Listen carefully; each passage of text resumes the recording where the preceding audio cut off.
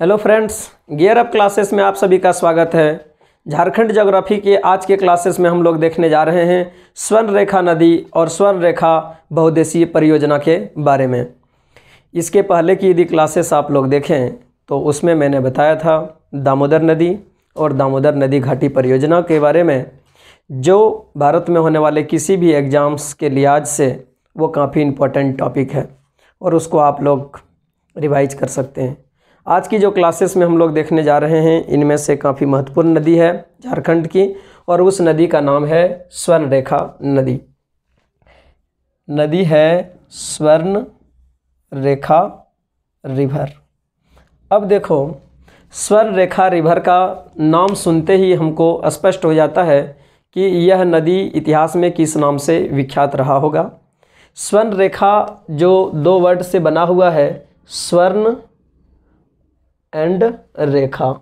कहने का मतलब है गोल्ड एंड इसको स्ट्रिक भी कहते हैं, एंड लाइन।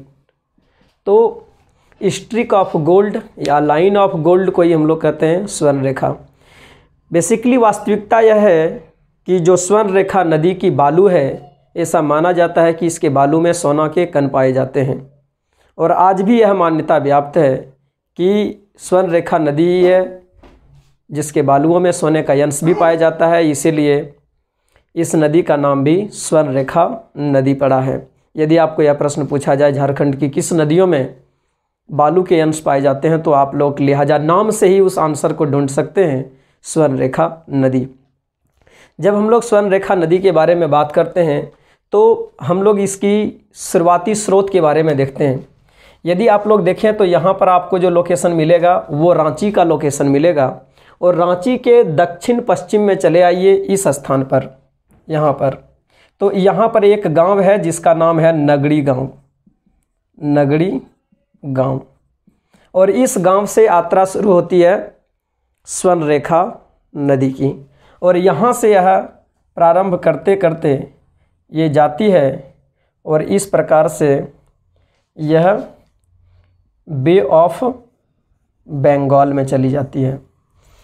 मैं कुछ इम्पोर्टेंट फैक्ट्स यहाँ पर बताता हूँ। ये जो नगड़ी गाँव है, ये नगड़ी गाँव रांची ज़िला के पिस्का ब्लॉक में पड़ता है और यहाँ से यह प्रारंभ होकर के यानी कि हम लोग कह सकते हैं कि यह झारखंड से इसका स्रोत प्रारंभ होकर के यह कुछ वेस्ट बंगाल में प्रवेश करती है और फिर वेस्ट बंगाल के बाद पुनः झारखंड में प्रवेश करती है। और फिर झारखंड से निकल करके यह उड़ीसा में प्रवेश करती है और इसके बाद यह बंगाल की खाड़ी में अपना जल विसर्जित करती है। तो इस दो जो सूचनाएँ हैं, इनसे हमको दो चीज़ें पता चली। यदि हम लोग स्वर्ण रेखा नदी का स्रोत देखें तो स्रोत कहाँ पर है? ये गाँव यदि देखें तो ये नगड़ी है। यदि हम लोग प्रखंड देखें तो ये पिस्का है और यदि हम लोग ज़िला देखें तो वो रांची है। अब और महत्वपूर्ण प्रश्न पूछा जाता है यहाँ से कि बताओ कि स्वर्ण रेखा नदी की जो स्रोत है या प्रारंभ है, वो कहाँ से निकलती है? स्वर्ण रेखा नदी किस पठार से निकलती है? तो यदि आपको इस प्रकार का प्रश्न पूछा जाए तो दोनों चीज़ें आप लोग ध्यान रखिए।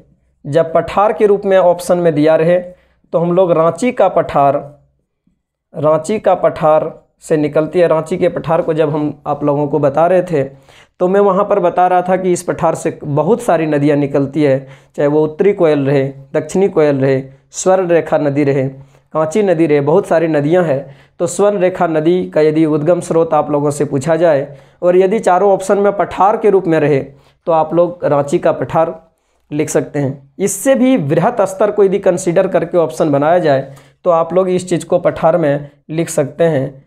छोटा नागपुर का पठार। तो काफ़ी चीज़ें यहाँ से आप लोगों को पता चला। किसी भी रूप में हम लोग देख सकते हैं, यदि आपसे यह प्रश्न पूछा जाता है कि स्वर्ण रेखा नदी कहाँ से निकलती है तो ऑप्शन नगड़ी भी हो सकता है, पिस्का भी हो सकता है, रांची भी हो सकता है, रांची का पठार भी हो सकता है और छोटा नागपुर का पठार भी हो सकता है। इसीलिए इन सारे चीज़ों को आप लोग ध्यान में रखें। काफ़ी इम्पोर्टेंट है। दूसरी चीज़ें यदि हम लोग यहाँ से देखें कि यह अपनी मुहाना कहाँ पर बनाई है? तो मुहाना की जब हम लोग बात करते हैं तो यह बंगाल की खाड़ी में बनाई है। बंगाल की खाड़ी में। अब जब हम लोग बंगाल की खाड़ी में बात करते हैं तो एक चीज़ें स्पष्ट हो जाती है कि झारखंड की कोई भी नदी ले लो।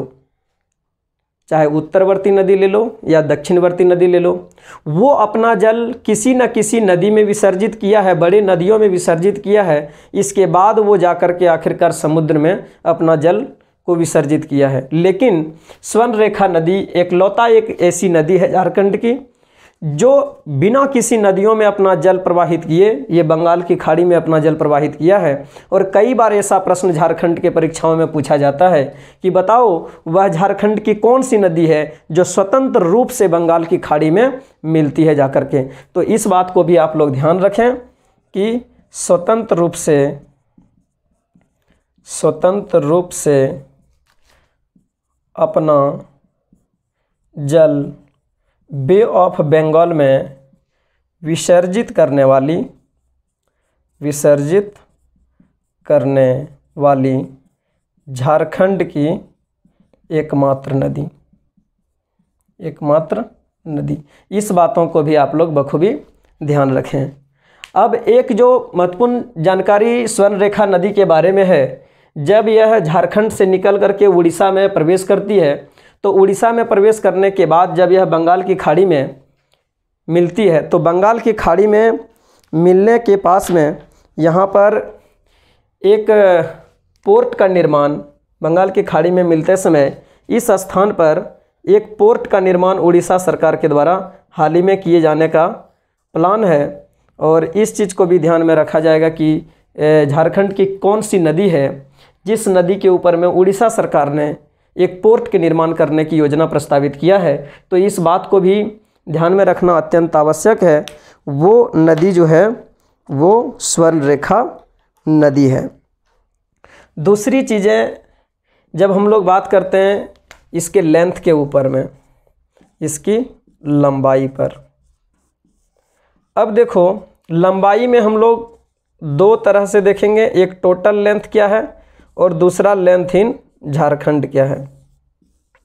जब हम लोग टोटल लेंथ की बात करते हैं तो स्वर्ण रेखा नदी नगड़ी से निकलने के बाद बे ऑफ़ बंगाल में जल विसर्जित करने तक की टोटल जो दूरी है, वो थ्री नाइन्टी फाइव किलोमीटर है।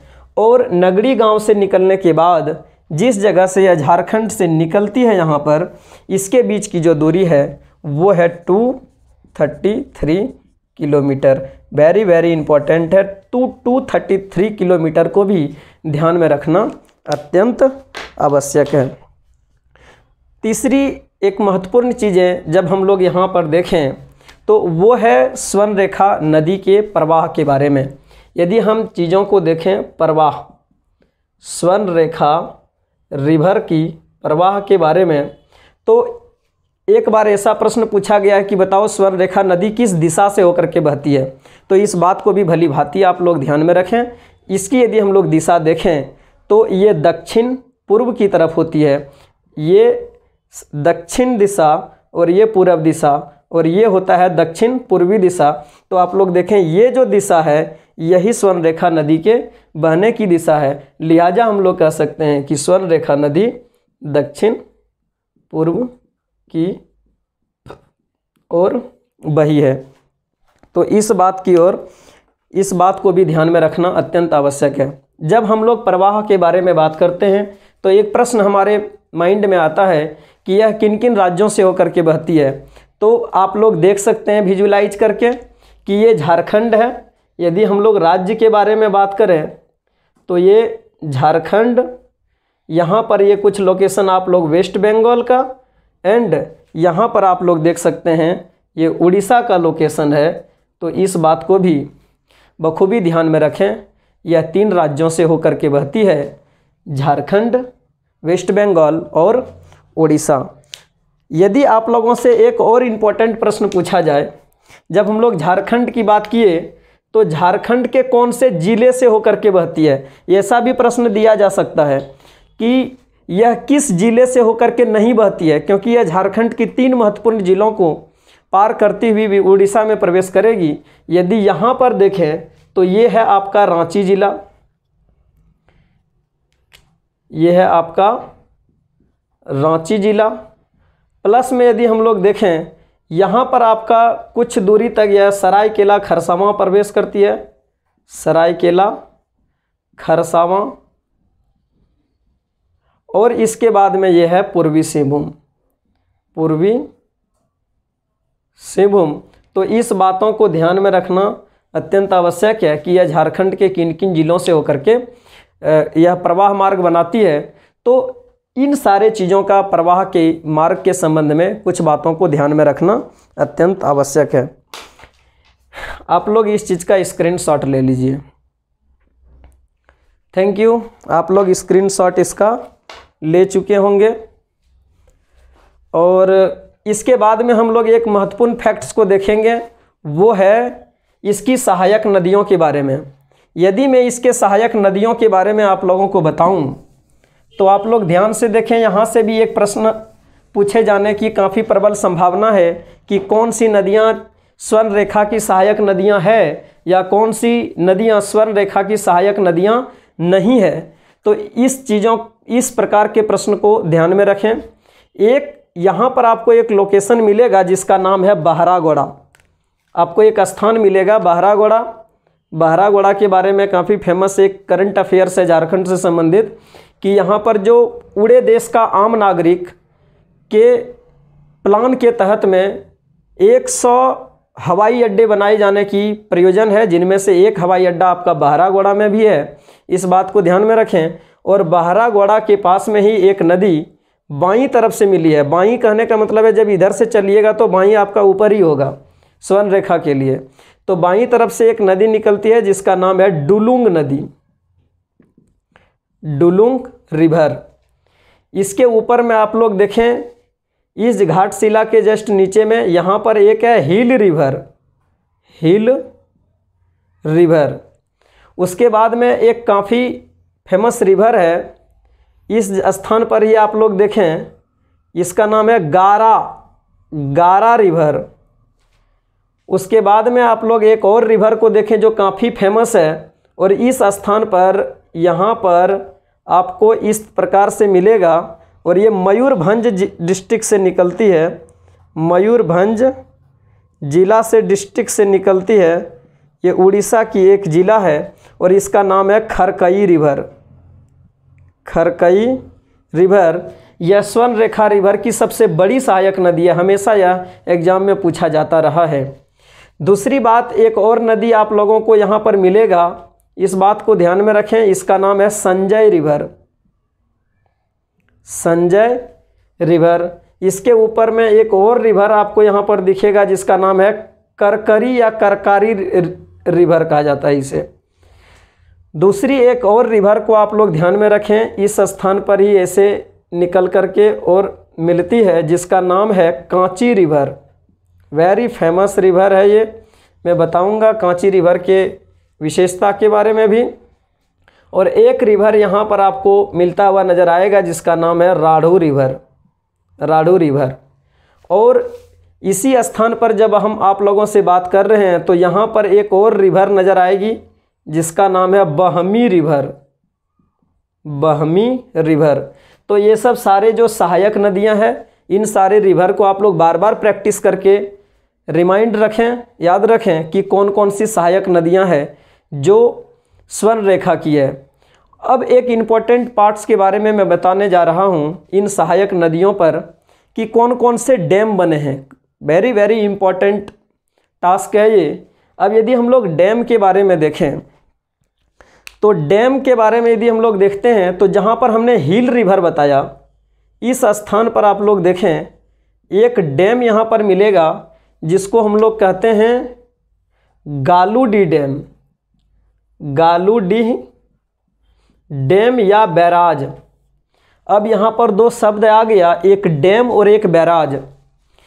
तो एक महत्वपूर्ण प्रश्न उठता है कि डैम और बैराज में अंतर क्या है? इस बात को भी बखूबी जान लें। डैम मतलब होता है कि पानी का रिस्टोर करने के लिए जो हम लोग रेस्ट्रिक्शंस डालते हैं नदियों में, वो होता है डैम। लेकिन पानी की धारा को डिवाइड करने के लिए जो हम लोग रेस्ट्रिक्शंस डालते हैं, उनको कहते हैं बैराज। तो बिल्कुल कन्फ्यूज़न नहीं होना चाहिए डैम्स और बैराज में। बैराज में हम पानी को कंट्रोल करते हैं और फिर अपने अनुसार से छोड़ते हैं। इस तरह के संयंत्र का इस्तेमाल करते हैं हम लोग नदियों में। वो बैराज होती है, जबकि डैम्स में हम लोग पानी को रेस्टोर करके स्टोर करके हम लोग विभिन्न प्रयोजनों में उसका इस्तेमाल करते हैं। तो जो गालूडी है, ये गालूडी डैम्स भी है और गालूडी बैराज भी है। इस बात को बखूबी आप लोग ध्यान में रखें। यदि आप लोग देखें, आपको एक और रिवर मिलेगा, एक डैम मिलेगा इसी स्थान पर। इस स्थान पर आपको एक फ़ेमस यहाँ पर देखिए लोकेशन, एक डैम मिलेगा जिनका हम लोग कहते हैं, इस डैम का नाम है चांडिल नामक स्थान पर यह है चांडिल डैम। तो ये चांडिल डैम आप लोग ध्यान में रखें। दूसरा एक डैम आपको यहाँ पर दिखाई देगा, इस स्थान पर, जिसका नाम है डिमना डैम। डिमना डैम। आपको एक और नदी, एक डैम आपको यहाँ पर दिखाई देगा, जिसका नाम है पालना डैम।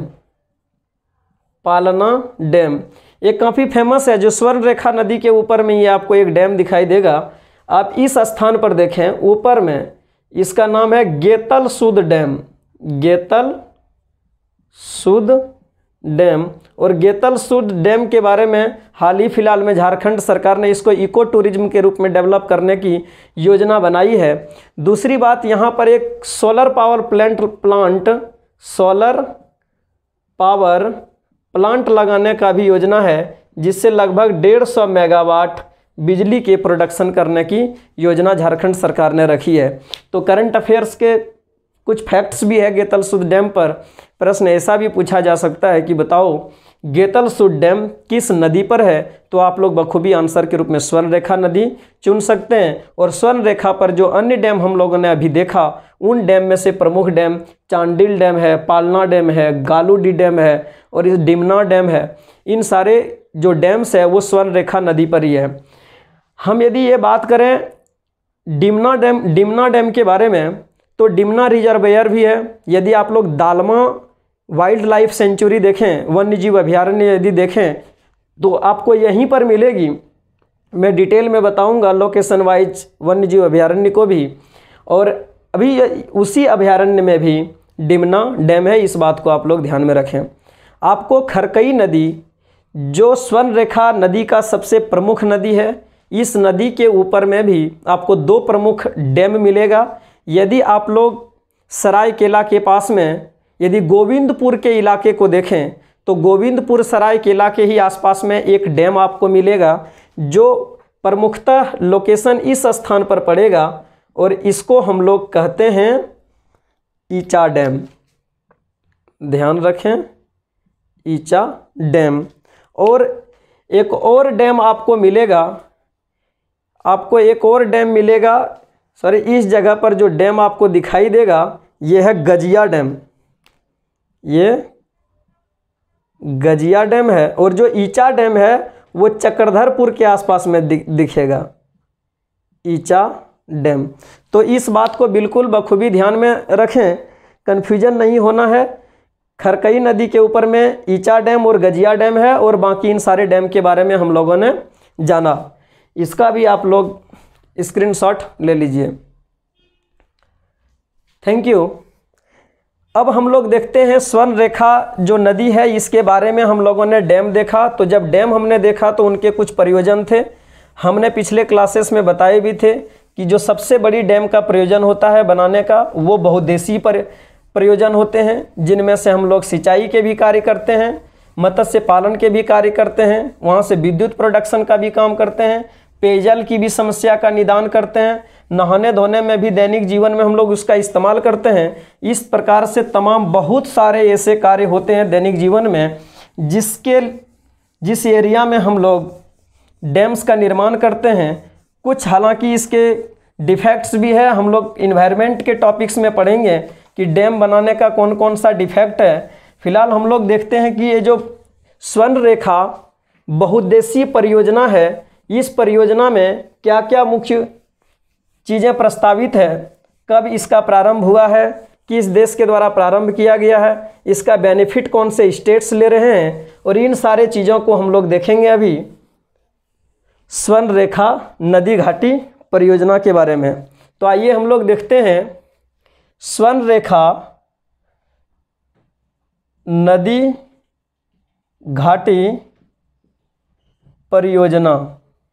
अब देखो, स्वर्ण रेखा नदी घाटी परियोजना जो है, यह परियोजना का जो प्रारंभ किया गया था, इसका प्रारंभ 1982-83 में किया गया था। लेकिन इसका जो शुरुआत हुई थी स्वर्ण रेखा नदी का, इस स्वर्ण रेखा नदी पर इस प्रोजेक्ट को बनाने के लिए, वो तीन राज्यों ने शुरुआत की थी। झारखंड सरकार, बंगाल की सरकार और उड़ीसा की सरकार ने मिलकर के एक एग्रीमेंट पर साइन किया था। और वो जो एग्रीमेंट था, उस एग्रीमेंट पर जो साइन हुआ था, वो सेवन अगस्त 1978 में साइन किया था। अब देखो 1978 में ही प्रारंभ हो जाती है इस परियोजना के विकास की। आधारशिला रखी गई है। कई बार ऐसा प्रश्न पूछ लिया जाता है कि बताओ स्वर्ण रेखा नदी घाटी परियोजना का प्रारंभ किस पंचवर्षीय योजना में किया गया है? तो इस बात को आप लोग ध्यान में रखें। जो 78 है, वो 1974 टू सेवन 1979 के बीच में आता है और ये पंचवर्षीय योजना था, फिफ्थ फाइव ईयर प्लान। तो बिल्कुल आप लोग इस बात को ध्यान में रखें कि स्वर्ण रेखा नदी घाटी परियोजना का प्रारंभ किस पंचवर्षीय परियोजना में किया गया है? तो पांचवी पंचवर्षीय योजना परियोजना में किया गया है। इस बात को आप लोग भली भांति ध्यान में रखें। ये जो परियोजना है, ये संयुक्त परियोजना है। संयुक्त प्रोजेक्ट है ये, और किस किस का? तो अब हमको समझाने की ज़रूरत नहीं पड़ेगी कि waste Bengal, Jharkhand and Orissa government की ये संयुक्त परियोजना है, और कई बार एक प्रश्न पूछ लिया जाता है कि यह किसके द्वारा सपोर्ट किया जाता है? किसके इनिशिएटिव किसके सपोर्ट से यह शुरुआत किया गया है तो हम लोग कह सकते हैं कि इसका जो प्रारंभ किया गया है, वो बाय वर्ल्ड बैंक के सपोर्ट से किया गया है। तो आप लोग इस बात को भी ध्यान दे, रखें। यदि आपको ऐसा प्रश्न पूछा जाता है कि स्वर्ण रेखा नदी घाटी परियोजना किसके सहयोग से संचालित की जा रही है तो वो है विश्व बैंक के सहयोग से संचालित किया जा रहा है। तो इस बातों को भी आप लोग ध्यान में रखें। दूसरी चीज़ें हैं, इस परियोजना के ऊपर में जो सिंचाई परियोजना है, ये सिंचाई परियोजना भी है यह स्वर्ण रेखा नदी घाटी परियोजना से जो सिंचाई होती है, उसको हम लोग कहते हैं स्वर्ण रेखा नदी रिवर वैली सिंचाई परियोजना। तब देखो, ये परियोजना भी इन तीनों राज्यों की परियोजना है। वेस्ट बंगाल, झारखंड और उड़ीसा की। और ये जो परियोजना है, ये परियोजना जिस दो नदियों के ऊपर में ऑपरेट किया जा रहा है, वो दोनों नदी है स्वर्ण रेखा और खरकई रिवर। तो खरकई रिवर और स्वर्ण रेखा रिवर, ये दोनों रिवर पर इसको ऑपरेट किया जा रहा है। दूसरी बात, यदि आप लोग देखें इस परियोजना के बारे में तो पिछली बार जो एग्ज़ाम हुआ था झारखंड दरोगा में, उसमें पूछा था कि बताओ झारखंड में कितने प्रमुख परियोजनाएँ संचालित की जा रही है। और आंसर में दिया गया था दस। और यदि आप उन दसों प्रमुख परियोजनाओं को देखें तो उनमें से एक परियोजना ये भी है। स्वर्ण रेखा नदी घाटी परियोजना भी उस परियोजनाओं में एक है। तो आप लोग इस बात को ध्यान में रखें कि दस प्रमुख प्रोजेक्ट में से एक परियोजना है ये। दूसरी, यदि आप लोग वृहत परियोजना सिंचाई का देखें झारखंड सरकार की तो बृहद परियोजनाएँ कुल झारखंड में एट है तो एट वृहत सिंचाई परियोजना में से एक। अब यहाँ पर एक शब्द का इस्तेमाल किया हमने, वृहत सिंचाई परियोजना। वृहत सिंचाई परियोजना कहने का मतलब होता है कि ऐसी सिंचाई जिसमें टेन थाउज़ेंड हेक्टेयर एरिया से एरिया से अधिक हम लोग इरिगेशन का काम करते हैं, उनको कहते हैं बृहद परियोजनाएँ और झारखंड में कुल आठ है बृहद परियोजनाएँ, जिनमें से एक ये भी है और दस प्रमुख परियोजनाएँ हैं, जिनमें से एक ये भी है। तो इन दोनों बातों को भी आप लोग बखूबी ध्यान से रखें कि जो स्वर्ण रेखा की एक सिंचाई बृहद परियोजनाओं में से यह एक परियोजनाएँ रही है। अभी जो हम एक प्रमुख चीज़ें यहाँ पर बताने जा रहे हैं, वो है कि ये जो परियोजनाएँ संचालित की जा रही है, इनमें से दो बाँध है। दो बाँध को और दो बैराज को मिला करके ये परियोजनाएँ संचालित की जा रही है। और वो दो बाँध जो इस नदी घाटी परियोजना के तहत में इस्तेमाल किया गया है, वो दोनों बाँध है। एक है चांडिल चांडिल बाँध, और दूसरा है ईचा बाँध। और दो जो बैराज का इस्तेमाल किया गया है इसमें, एक है गालूडी बैराज गालूडी बैराज और दूसरा है गजिया बैराज गजिया बैराज। तो इस बात को भी आप लोग ध्यान में रखें, ऐसे भी प्रश्न को दिया जा सकता है कि बताओ स्वर्ण रेखा परियोजना के अंतर्गत में किस बाँध के थ्रू या ऑपरेट की जा रही है तो वहाँ पर एक ऑप्शन या दोनों ये भी करके आपको इस प्रकार से दिया जा सकता है या इन चारों में से कोई एक ऑप्शन में देकर के आपसे डिमांड किया जा सकता है। किसी भी तरीके से आपसे यह प्रश्न पूछा जा सकता है कि डैम किस नदी पर है, या इस प्रोजेक्ट के अंतर्गत में कौन कौन से डैम आते हैं, या इस प्रोजेक्ट के अंतर्गत कौन सा डैम नहीं आते हैं, या ये प्रोजेक्ट किस के द्वारा संचालित की जा रही है, किन राज्य इसका बेनिफिट ले रहे हैं तो बहुत सारे प्रश्न इनसे बनाए जा सकते हैं और सभी प्रश्नों का आंसर आप इस सारे पूरे फैक्ट्स और फिगर्स और इस मैपिंग और सहायक नदियों के थ्रू आप लोग आंसर दे सकते हैं। तो आज का क्लास में हम लोगों ने देखा स्वर्ण रेखा नदी और इसकी संबंधित परियोजनाओं के बारे में। आप लोगों को इस क्लास का डिस्क्रिप्शन और एग्ज़ाम पॉइंट ऑफ़ व्यू से कितना इम्पोर्टेंट लगा। इस बात को ज़रूर आप लोग कमेंट करके बताएँ। यदि आप लोगों को पसंद आता है तो जल्दी जल्दी और ज़्यादा से ज़्यादा लोगों तक शेयर करें। सब्सक्राइब करें, बेल आइकन की घंटी ज़रूर दबाएँ ताकि अगले वीडियो का सीधा नोटिफिकेशन सबसे पहले आपको मिले। और इसका बेनिफिट ज़्यादा से ज़्यादा स्टूडेंट उठा सके। और इससे हम प्रभावित होकर के और नए वीडियो को बनाने के लिए हम न्यू एनर्जी का जो है वो सोर्स का को फाइंड आउट कर सके। Thank you